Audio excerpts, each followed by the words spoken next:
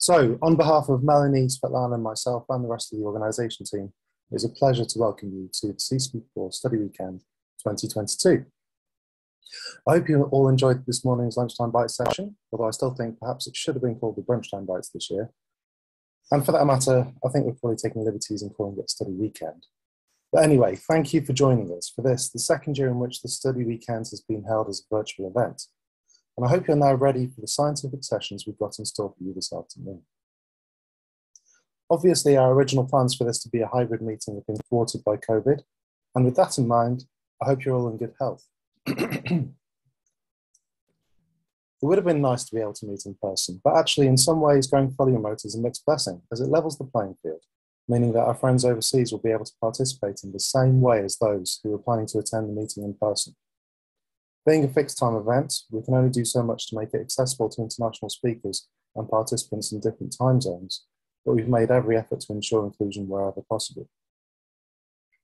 Since there can be a tendency for virtual events to seem a bit impersonal, do feel free to bring a more human element to the meeting by switching on your camera for the questions, breaks, and breakout sessions.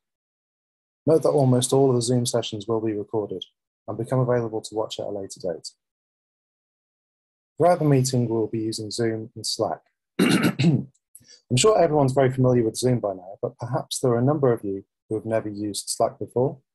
Hopefully, you will have already joined the CCP4 Slack workspace. It's a very intuitive platform, and I encourage you to get used to it, as it will be very useful for discussion and breakouts throughout the meeting. Links to Slack tutorials have been posted at the top of the general channel within the Slack workspace itself. But if you have any difficulties, then do get in touch with the technical team. Note also that there is a new website to be used during the meeting, which is not the CVent site that you used for initial registration. The new website that you should be looking at is sw2022.co.uk. The link to this Study Weekend Hub was sent to you in the joining instructions email from Karen yesterday, along with the link to the CCP4 Slack workspace. And if you're on Twitter, then you can tag the event using hashtag CCP4SW. During the sessions, you're free to use the Zoom chat for general communication with everybody. But if you want to register questions to be asked at the end of the talk, then you should instead use the Zoom Q&A tab. Even better, write your question for the speaker in the sessions channel in Slack. The session chairs will be monitoring both the Zoom Q&A tab and the session Slack channel, and will select a few questions to read out live, time permitting. Indeed, please make sure to write your questions down. In order to ensure that the meeting runs smoothly, participants will not be invited to read their own questions out. So you can't use Zoom's raise hand feature in the hope of being handed the mic. Note that the Zoom chats are not persistent, whereas the Slack channels are. So you really should preferentially use Slack for questions, as well as for general text-based communication and discussion during the meeting. There are already a few channels for social activities in Slack, so do go and check them out. Each channel includes a preamble at the top, there you can also find out about the social groups that will be held on Zoom both this evening and tomorrow evening after the scientific sessions. Let us know if you want to set up more social, scientific or general interest focus group channels or activities during the meeting. We'll be very happy to accommodate where possible. Finally, the nearest fire escape is Dave to your left and down the stairs, Linda to your right and up the stairs, Stephen through the kitchen, and Laura down the hallway and right by the poodle. Anyway, back to the scientific program. This year, the topic is current trends in macromolecular model refinement and validation. We're fortunate to have a fantastic selection of speakers who will no doubt elucidate, educate, and inspire. Due to adopting a virtual format, we have elected to have a larger number of shorter talks this year. No doubt this will present a challenge for the speakers, but thankfully it should be good for minimizing our Zoom fatigue. This afternoon, we start by hearing about some of the practical considerations that should be acknowledged and contemplated when attempting to model and refine a structural model. We will then have a mid-afternoon keynote presented by Dale Tronrud, who will provide a general overview of the structural model refinement procedure, in which we will learn the necessity for restraints during refinement and how technologies have evolved over the past decades. We will then hear about how prior information is generated and used in a variety of contexts and suites, from low to high resolution to facilitate the refinement of both common and novel compounds. In our evening keynote this evening, Bernhard Rupp will remind us of the necessity for model validation, which is an extremely challenging topic, one that we should be ever conscious of and no doubt will continue to struggle with in years to come. Tomorrow afternoon, after the morning's lunchtime bites, we shall hear about the implementation of modern refinement tools that are available from a variety of crystallographic software suites. We will hear about new, novel, forward thinking developments within the field and also about how different experimental and computational techniques can be leveraged alongside macromolecular crystallography in order to achieve a greater understanding of structural biology. In tomorrow's evening keynote, John Helliwell will invite us to reflect on what we are actually trying to do in computational structural biology, whether our scientific activities really allow us to test hypotheses as intended, and how the design and recording of our workflows is important in ensuring accuracy and thus the validity of our final conclusions. On Friday, the final day of this year's study weekend, we shall acknowledge the fact that model building, refinement, and validation are inherently related being fundamental parts of the modeling process that iterate again and again as we approach the final structural model. After the Diamond user meeting, we consider some of the tools available for automated and manual model building and interactive refinement. After lunch, we consider the necessity for validation and the usefulness of the ongoing re-evaluation and remediation of existing structural models. Finally, we will hear about how bioinformatics can help us with model building and validation how structural models are deposited to the protein data bank, and how cloud computing can be used in the context of crystallography. Well, first, we will kick off the program with a somewhat unconventional keynote presented by Kevin Cowtan, who has a message that is very relevant in modern scientific culture, and indeed in a virtual meeting such as this. Kevin will remind us that we should all think about how we conduct ourselves and reflect on how we treat others in a scientific setting. Acknowledging and accepting individual differences should help us to behave in a way that makes others feel more comfortable. And I encourage you to keep this in mind throughout your time at this, the 2022 iteration of the CCP4 Study Weekend. I hope you enjoy the meeting. And now I'll hand you over to the chairs of session one. Okay. Um, thank you, Bob, for your introduction to the study weekend on a Wednesday.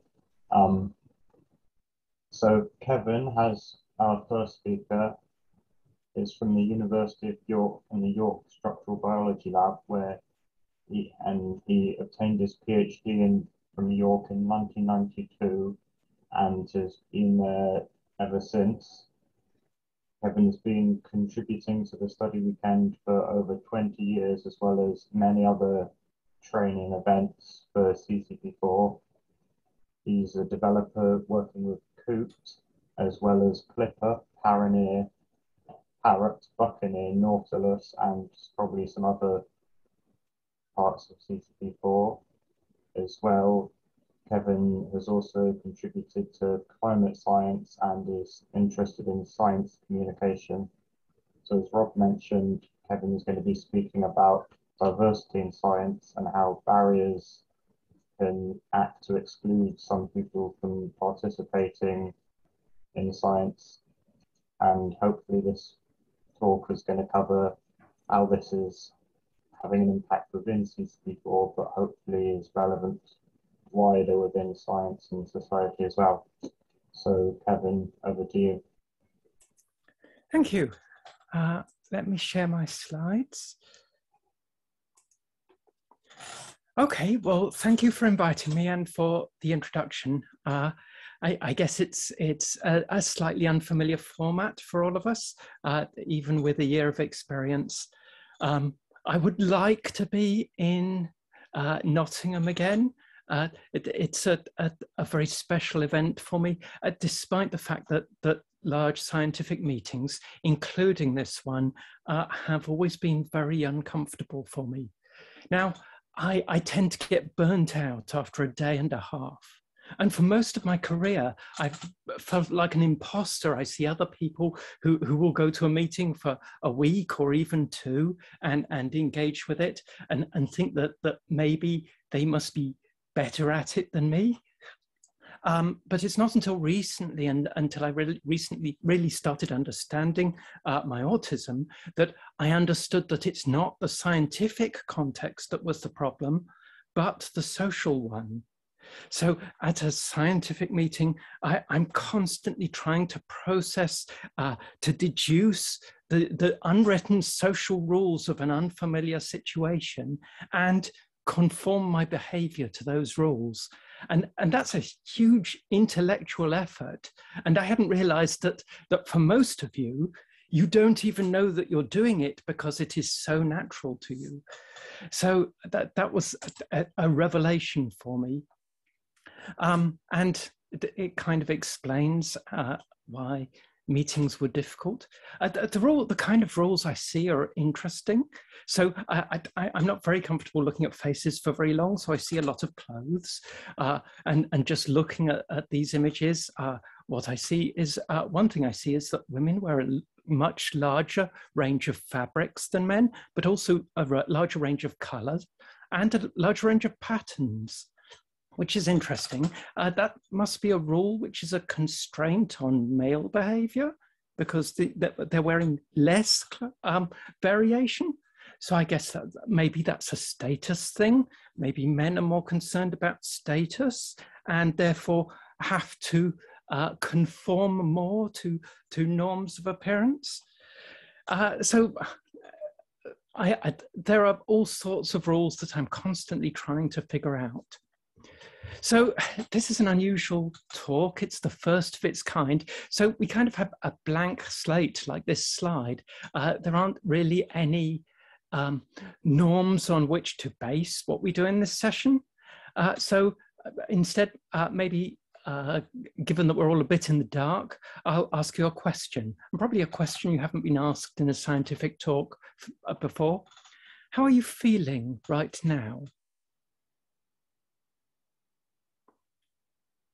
Now, uh, I have no way of knowing uh, how you're feeling, um, and, and probably my guesses aren't going to be particularly good. Um, but what I've been trying to do is throw aside all the no normal social norms you might expect, the ideas and pictures you might have of what's going to happen. And if that's worked, then maybe I have given you a brief glimpse into the kind of social disorientation I experience all the time. And if that's the case, it might be a bit uncomfortable. So, my follow up question is what if, whenever you go to a scientific meeting or where, whenever you go into work, you feel uncomfortable? How could that shape your scientific career? We all have to make career decisions at various points, uh, sometimes where we go in science, sometimes even if we stay in science. And could how comfortable you feel contribute to some of those decisions?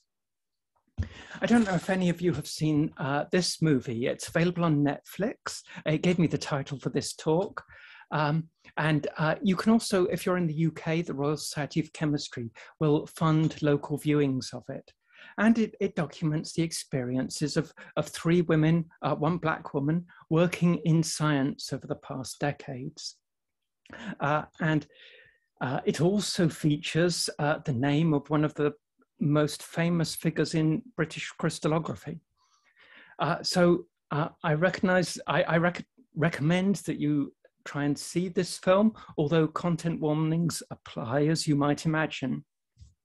And some of the uh, content of this film has to do with feeling comfortable or or the way people are made to feel uncomfortable or worse. So here is one of the, the uh, images from the film and it concerns a lot of behaviors which can be uh, in some cases intentional uh, in some cases not uh, often in some way targeted at different groups of people. Uh, what i'm interested in at the moment is is um, behaviors and, and social factors which are less targeted, not at all targeted indeed, and, and not intentional, but still have exclusive um, uh, effects. Let me show you an illustration. So uh, suppose I do a Google search. How do I open a PDB file in Python? And we we ask Google, and it takes us to Stack Exchange. Uh, if you've done any work in computing, you will have been to Stack Exchange hundreds of times in the past. Uh, now, if Stack Exchange prides itself on providing the best uh, answers to questions and the best questions. And it has a kind of peer review method by which questions and answers are critiqued. Um, uh, and they also do a survey uh, from uh, time to time. Uh, here are some results from their 2018 survey. They asked developers what they would change about Stack Overflow. And for the first time, they broke uh, down the results by uh, contributors' uh, declared gender.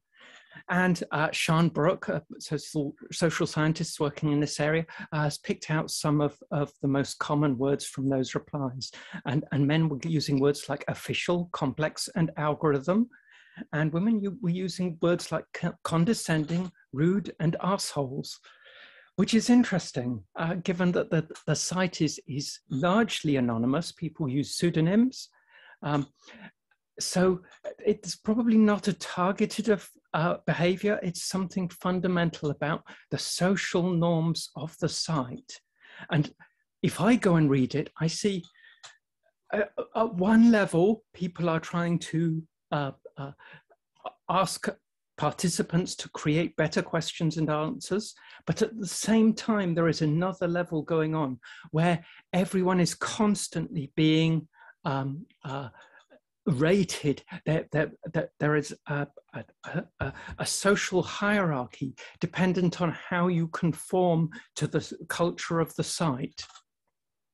So I think this, this uh, makes um, uh, links up with the work of, of psychologist Eleanor Maccoby uh, back in the 1980s, and many others have, have shown similar results since, that there are distinct gendered communication styles and that male communication is typified by higher levels of social dominance signaling. And that's kind of what I pick up from uh, uh, Stack Exchange. Uh, and Sian Brook has also noted that male communication styles tend to become dominant in anonymous mixed contexts.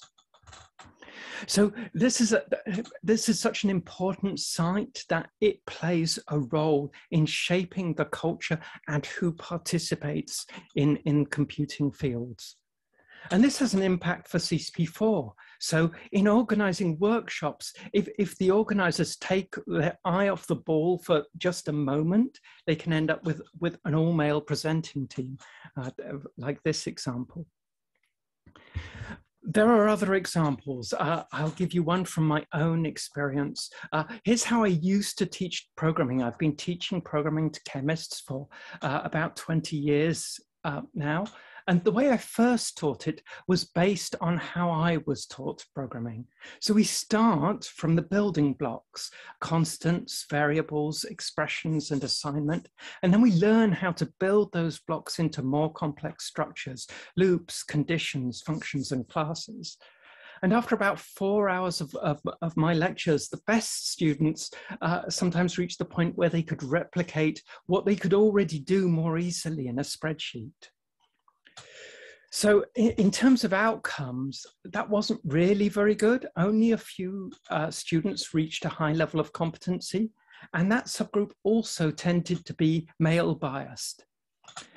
And at the time, I explained this following the norms of, at, at, of the time and, and the conventional explanations that programming must be an aptitude and was probably linked to learning style, and that this explained why only a few people really um, uh, got hold of it.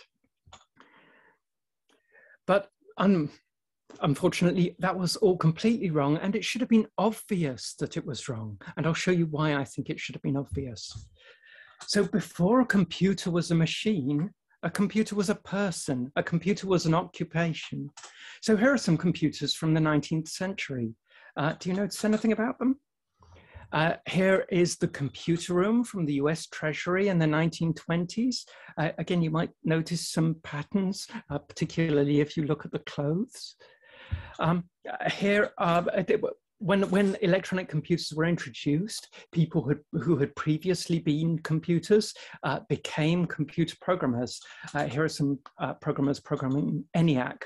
Uh, some uh, historical commentators have assumed that, that these weren't the programmers, that, that they were brought in for the purpose of, of the photo, but actually we know their names. Uh, you may spot a pattern in, in their names. Uh, here are some computers in the picture top right from uh, NASA Langley, uh, and again, some of them went on to be computer programmers. Uh, and this, uh, we, we don't program computers uh, using cables and switches anymore. we use high-level computer languages. this is Grace Hopper, who you would probably call the mother of modern programming languages. And this is a picture of my mother, Margaret, when she started working at the Vauxhall, she joined uh, what was, by modern standards, a diverse programming team. Uh, by the time she left her second programming job at the Brush Locomotive Works, she was the only woman in that department. And if you look at the situation now, only 2% of the top contributors to the main Python code sharing site are women computing and computer programming are now perceived to be aptitudes associated with a very small, mostly male minority. And this is not supported by the history, as I've shown. Uh, it's not uh, supported by our experience with children, and it's not in, uh, supported by uh, other departments at York, for example. In psychology, everyone is a statistician and a programmer. They need to be because psychology has awful data and, and perhaps in some ways has become the queen of the data sciences for that reason. So how did this happen? Uh, we know some of the factors. Hiring policies changed. Uh, computer advertising was targeted as boys when home computers uh, became available. And there were changes in the status of the job and uh, therefore who it was done by. Um, there's, there's the pink collar phenomenon that you can look up. So what we have going on here is a variety of social interactions, some which have created this uh, situation and some of which maintain it. So uh, one of these is, is barriers to learning. Uh, the way in which I used to teach, and many people used to teach programming, made programming hard. It made it only accessible to a few. And then there were external social factors. Uh, society uh, served to convince a, a, small number of people uh, fitting a particular stereotype that they could and should become programmers. And at the same time, it said to everyone else, no, this isn't for you. So the ones who, who had had that social boost had the motivation to overcome the barriers we were putting in the way to learning. And the outcome was the, the, the people doing programming uh, became, well, continued to be very unrepresentative of, of the population as a whole. And that became a feedback mechanism which reinforces the stereotype. So what can we do about it? Well, we can reduce the barriers to participation, stop teaching programming in a way that makes programming hard. And the other one is to deconstruct the social stereotypes, the programming that people receive from society, which tells them whether they'll be able to do this or not. And the slides that I've been showing you uh, largely come from my programming course. I, I, show these to students as an effort to deconstruct the stereotypes that they have come in with. But we also need to reduce the barriers to participation. So how do we do that? Well, one useful insight is that we can look at uh, different programming languages by the diversity of their contributors using code sharing websites. And the language with the best uh, diversity of uh, contributors is the R language. Uh, and this tends to be taught from a very different perspective, from a data science perspective. Uh, but there are also a lot of practices within the community that encourage diversity. But that may not fit chemistry. When we reviewed our chemistry teaching, uh, almost all the research groups wanted Python. So that meant we had to learn how R was being taught and teach Python in the same way.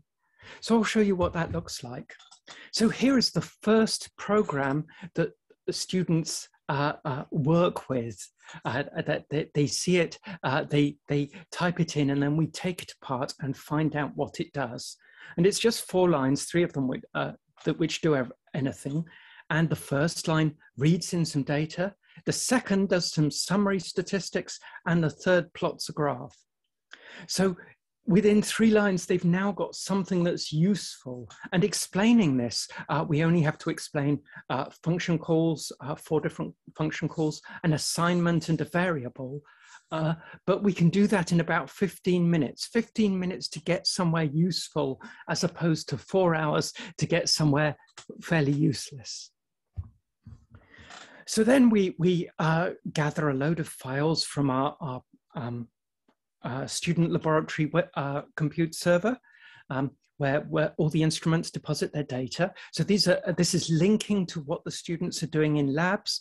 And uh, we ask them to find out how to read those files and plot the data in them. And they're in slightly different form, formats. So there's a little bit of effort required in that. Uh, next, we start to do some data analysis. So here we're doing a, a kinetics calculation, uh, calculating a first order reaction rate. We take logs and fit a straight line. Uh, again, they, they see uh, what a, an OLS regression table looks like. Um, and uh, we are linking directly to the kinetics course, which is running in parallel with this. So again, it's very concrete, but introduces more concepts. And finally, uh, at the very end of the course, I, I mention uh, conditions and loops. I, am not sure that's the right call. Maybe they should be left to later. But in this case, uh, we loop over a range of data sets and, and uh, deduce what the order of reaction is and calculate the reaction rate using the appropriate formula. And again, that's reproducing a problem that they've already solved by hand and can now do more easily by computer.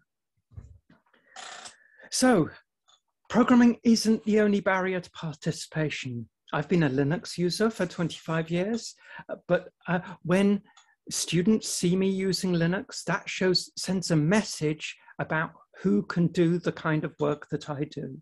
And that's not the message I want to send. So now the students only see me using Windows, even if it's in emulation. Uh, some people are probably using Macs. You're probably sending a different message to your students, perhaps one involving socioeconomic status? Uh, Git is something that has become dominant in the computer science community. Maybe I haven't found the right route. I've never used Visual Studio, but it seems to me that the, the, the learning barrier to, to start using Git is much higher than any of the other systems we have used. Computer languages make a difference a lot of my crystallography work has, has been in C++, and I, I think that's a problem. Uh, Python should be better, although we, we don't see that in uh, the uh, code repositories from the number of contributors. Uh, R is good, and, and Pandas gives us uh, the mechanisms to teach our, uh, Python in the way that R is taught. Probably crystallography tools make a difference as well. Uh, if you're still learning uh, to use CCP4 through CCP4i, then that's probably creating greater barriers than are necessary. And CCP4i2 um, uh, should do a better job there, and CCP4 Cloud even better because it takes away the barrier of installation, especially once we, we can have Qt running in the browser, which will come eventually. So what can we do? I've already suggested ways in which we can reduce the barriers to participation um, and also that we can deconstruct the social stereotypes around programming. Now that's not necessarily trivial. Uh, we can cause backfire effects.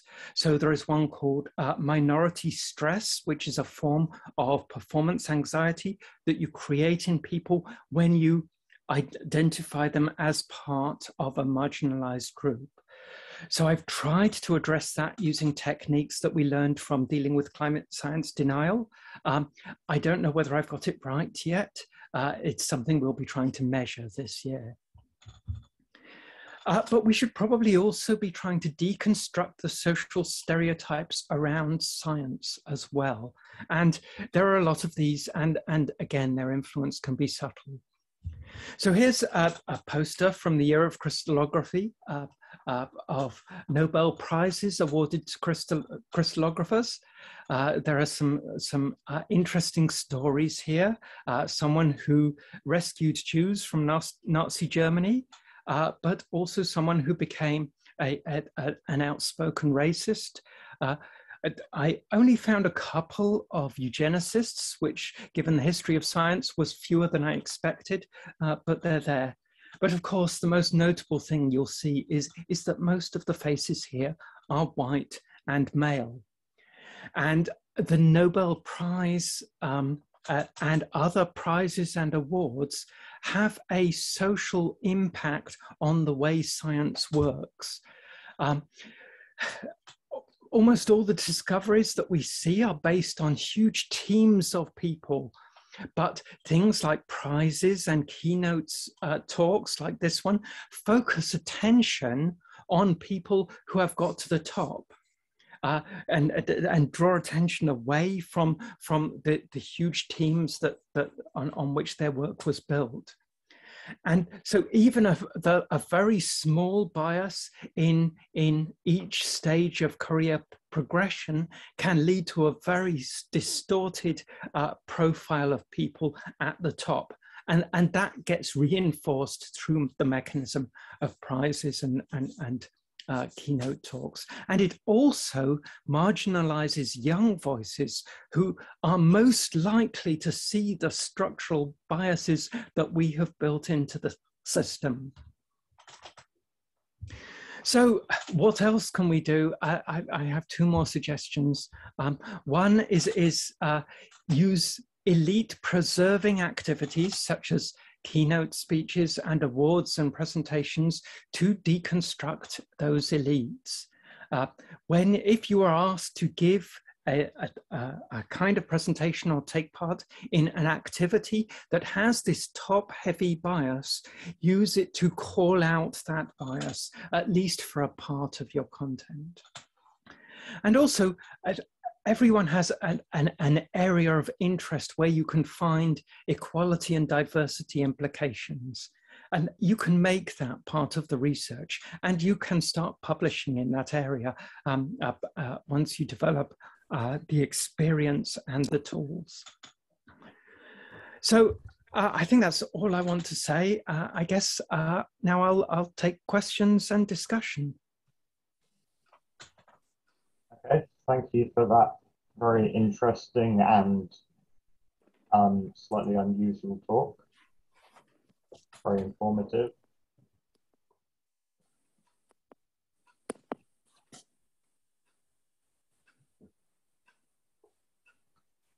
I don't think yet we've had any specific questions, but there are several comments saying that, yeah, several people that have engaged with the R-Ladies community and have uh, praise for it?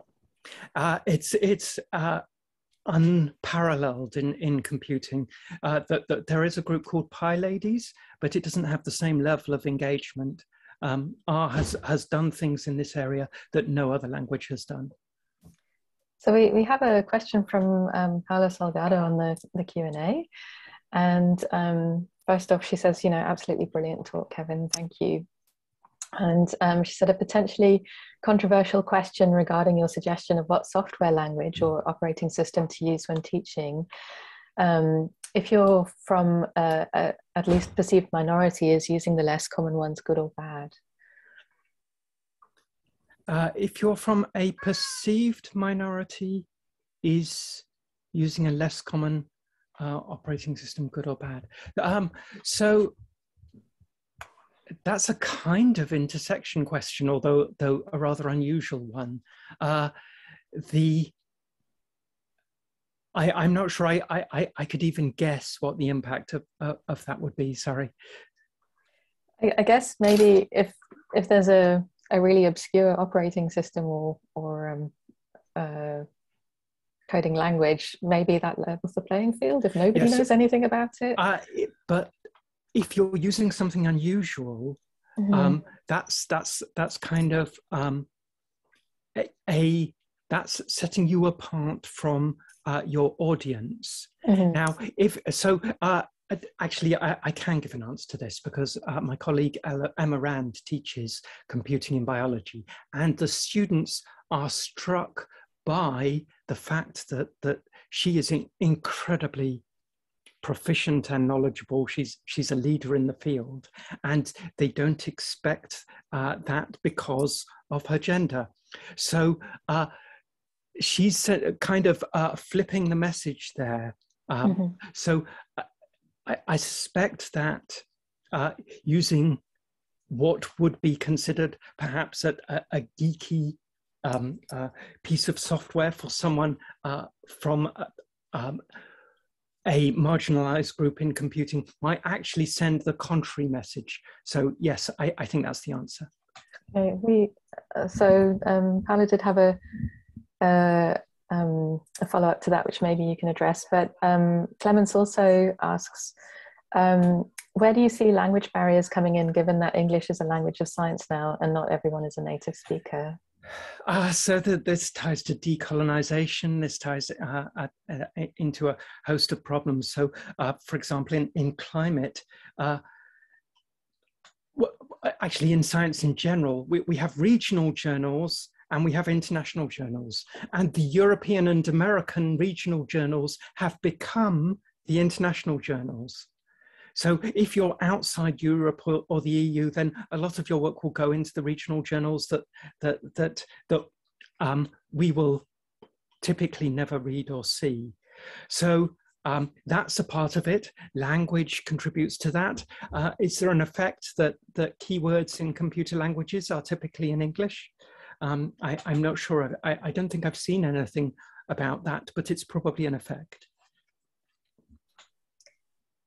So I think those are all the Q&A questions. Um, I don't know if there are any other Slack questions that came up in the meantime.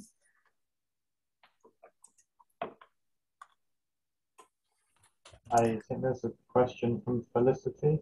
Um, great presentation, thanks. Are there any actions we could all take back to our institutions or any particular good publications that we can use to help convince people to change and saying that a public this talk would be amazing?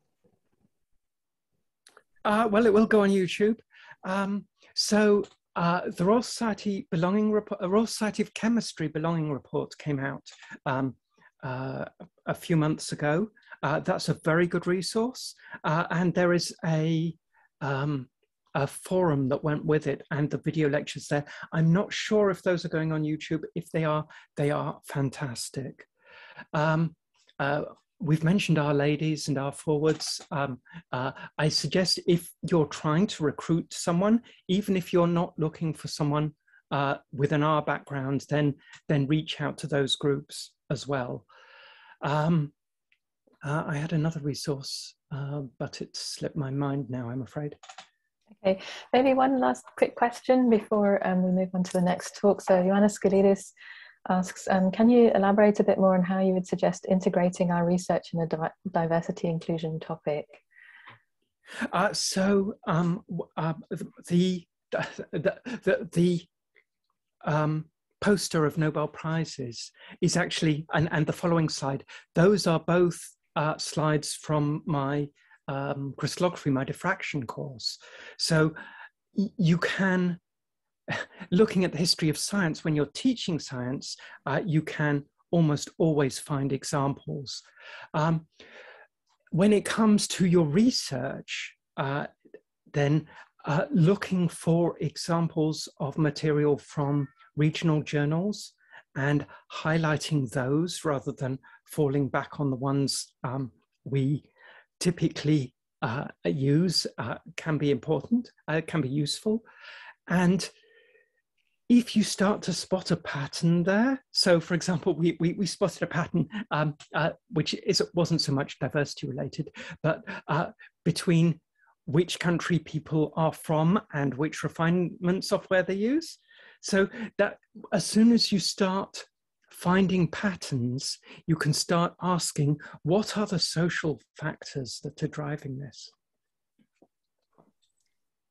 Okay, thank you so much, Kevin. That's been really, really informative. And um, I think Peter will introduce the next speaker.